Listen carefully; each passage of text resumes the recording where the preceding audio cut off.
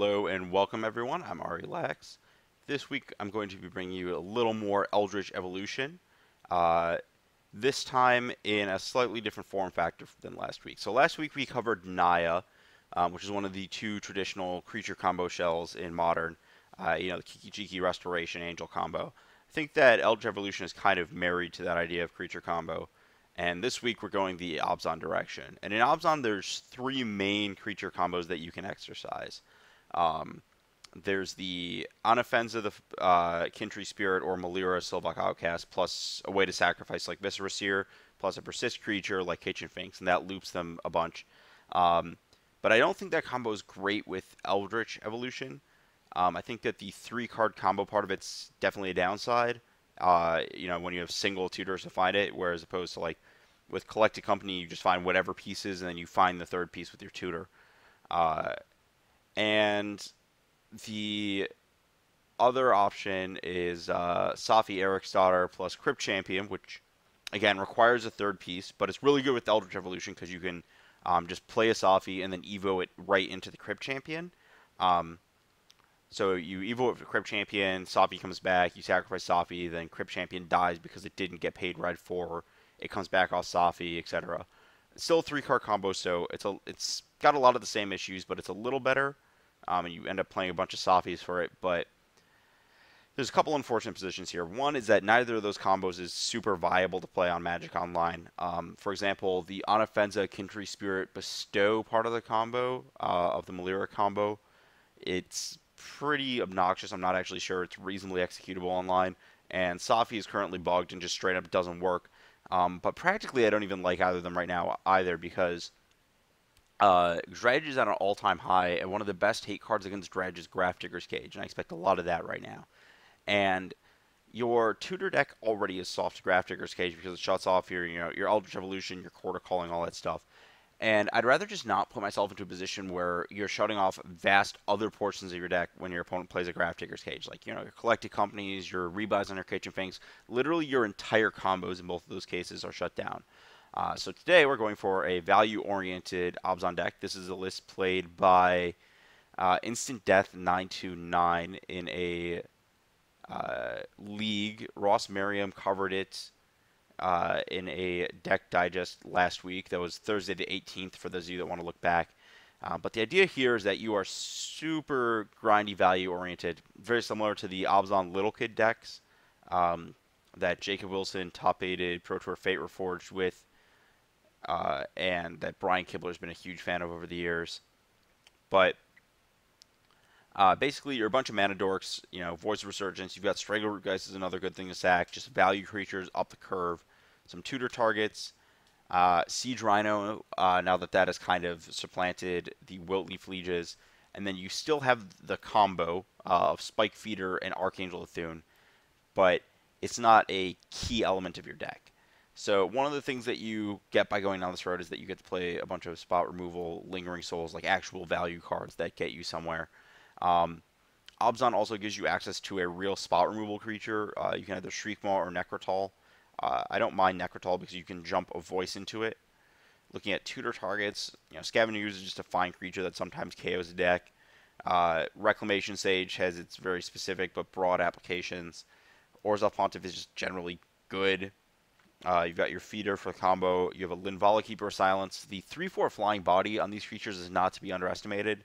Um, you can see, you know, Restoration Angel does a lot of good work. So just like being a 3-4 flying is really good. And yeah, you know, I think you're going to win a lot more games with just random beatdowns with this deck and chaining off rhinos with Eldritch Evolution. You know, the second rhino always gets them a little harder than the first. Uh, but you still have access to the combo. You still have powerful effects like Reveillark to rebuy things, though. I'm kind of thinking that Reveillark might not be that good in this deck, and I'm interested to see. I think that Thragtusk might actually end up being better over the course of some matches. Uh, looking at the mana, you got two Gavony Township, and then a, a fetch jewel mana base with a, a couple Razorverge Thicket. Sadly, I just I hate this card in this deck. Um, I think that too often you actually want to play your fifth, or you know, you're playing 22 lands uh, often you'll be on, like, if they kill your mana creatures, you'll be on three lands, you'll draw a land, and you'll be like, oh, great, now I just can't cast Siege Rhino this turn. Um, I think that's just a scenario I would like to avoid as much as possible.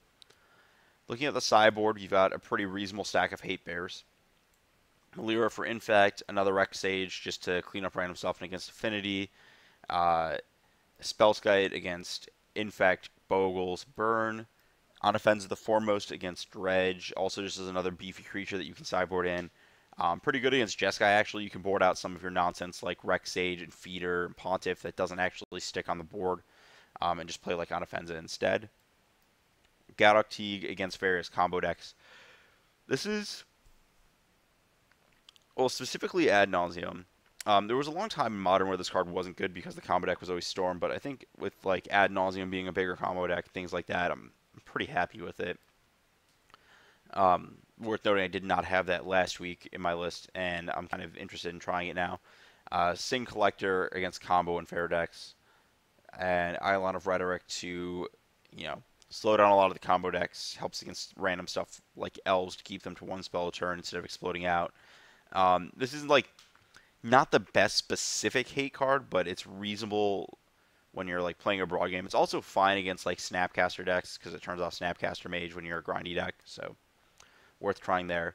Um, and again, we see the true Abzan shell shining through here because half the sideboard is really just fair stuff.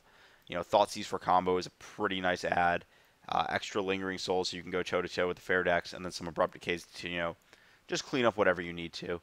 Uh, looking at the main things that I can expect to sideboard out, I can see Strangleroot Geist not being good in certain matchups because it just plays too small. Same with Scavenging Ooze. All the tutor targets are cuttable as always. Uh, you can shave a Finks. You can probably shave a Rhino if you need to go low to the ground. Reveillark's cuttable. And then depending on matchup, Path and Lingering Souls are as well. So I think there's a decent amount of sideboard flex here. Uh, in my preemptive, you know, like I said, my early assumption is that I want a Thragtusk here. Um, I'm interested in seeing if this or Shriekmaw would be better. And Linvala, I'm not huge on right now. The issue is, I don't think this card actually shuts off a lot of the creature combo mirrors as well as you think it would. But we'll see. And I'm not sold on Rec Sage. And it's very possible. We'll have to see. I think Lingering Souls probably covers a lot of. So in these decks, I've liked a Kataki uh, War's Wage in the past uh, to just handle Affinity.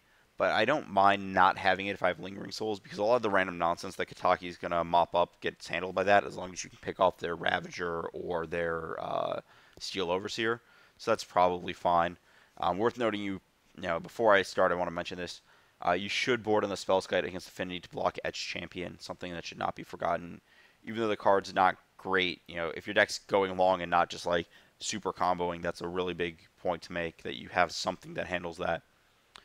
Um, and I'm okay not having Fulminator Mage in the sideboard or whatever. I think it's just fine with this deck. You're not able to loop it with uh, Eternal Witness. You're not able to reliably find it. It's fine to just admit defeat if you're going down that road.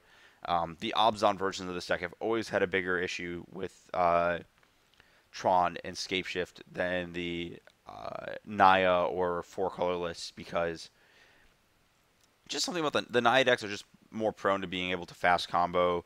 Um, a little better at looping their effects, I think, just because they're Restoration Angeling, they're like Avalanche Riders or whatever. Just easier to really shut the opponent out of the game with your cards. Also, Archmage, uh, Elendra Archmage, if you're four color, is pretty good against both those decks. Uh, and the the Abzan decks just really haven't had a good way to handle it, so I'm okay with that decision. Um, yeah, so there's a few things up front that I'm interested in taking a look at in the future, but I just kind of want to see how the Siege Rhino shell plays out. That's like really the important thing is how good is Strangle guys, how good is Siege Rhino? Are they actually helping me in the matchups like Jund or Grixis, you know, putting up a better result than the uh, Kiki Chord Shell or the old Kiki Chord Shell does.